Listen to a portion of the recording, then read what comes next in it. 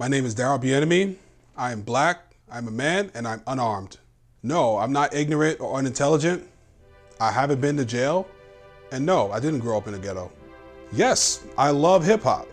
I have been to work late a few times. And yes, I do like chicken. But ultimately, I'm a Haitian American, recent college graduate. I'm aspiring to be a radio personality that's going to narrate the issues and interests that affects African Americans.